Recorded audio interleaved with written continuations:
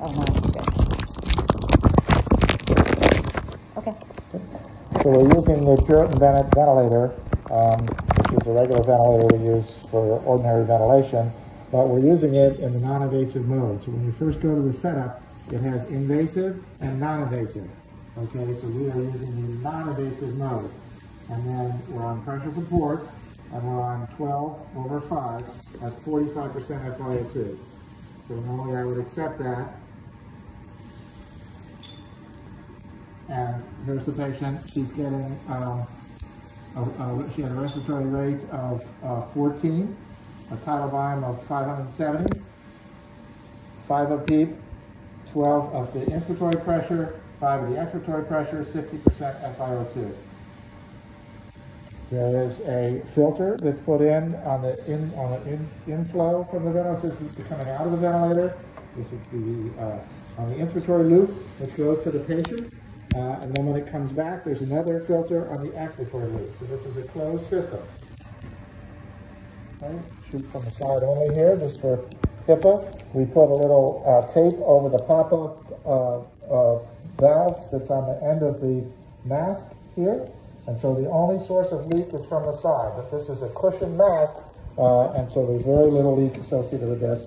Uh, and uh, we are in a negative pressure room, and we have appropriate PPE on, so this is uh, uh, definitely safe. Um, and as you can see, we've avoided having to intubate this patient for over two days, despite a PF ratio less than 100. This patient was very comfortable. We also, uh, when we take her off the BiPAP, then we use the high flow machine. This is the high flow machine, and you adjust the flow and keep in between 20 and 30 liters per minute. And we adjust the FiO2, which is somewhere between 21 and 100% FiO2, depending on her O2 sat. And then this is the temperature button. So, um, and when we use the high flow, as you can see, there's a mask here. We will put the high flow nasal cannula in over her nose, and then we will put just order a sur surgical mask uh, over the high flow uh, to minimize the amount of nebulization. So, Dr. Feeney, do we need, so do we not need to have a HEPA filter on the expiratory limb of the ventilator as well? So I'm going to let uh, Adrian explain that. He's a uh, respiratory therapist here in the ICU. So Adrian, uh, you want to answer that question for us? We, these filters, all the filters come with, uh, with, with filters at the end of the, the expiratory limb anyway. Um, COVID or not, all our patients can have some type of uh, uh, disease process that can infect another patient. So we always want to keep our vents safe so that when we uh, use it for somebody else, um, we're not reinfecting some, another patient that, you know, um, with, with what the previous patient had. So yeah, they always have filters.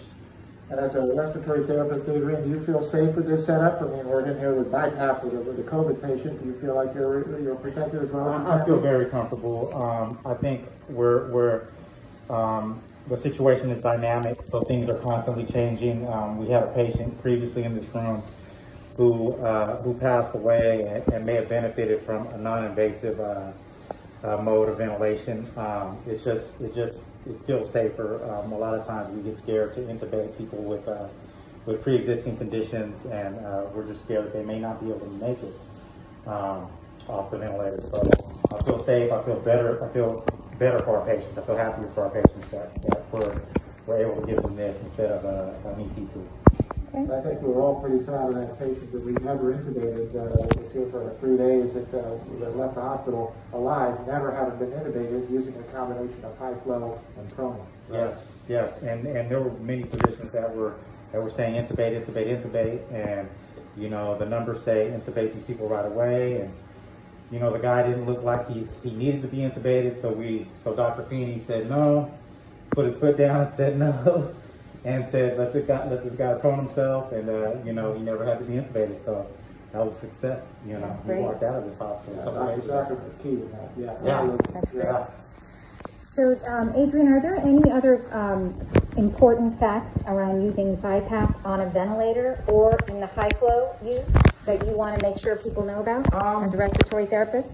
I think I think in this mode, and Dr. Feeney touched on it earlier, is that uh, is that when they're on pressure support, um, we don't have to set a rate.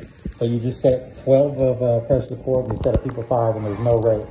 Um, oftentimes, uh, even with regular patients, when we set a rate and they're somewhat alert or they start to come off their sedation a little bit and wake up, they get a little desynchronous with the vent. And even those patients, sometimes air will escape around the cuff. And since there is no rate set for this patient, um, the, the, the chances of desynchrony are less. And so we're not so much worried about air escaping around the mask as we would, you know, a patient that we did set a rate on. Um, so that's one of the benefits of using this mode. Great. Okay, thank you. Yep.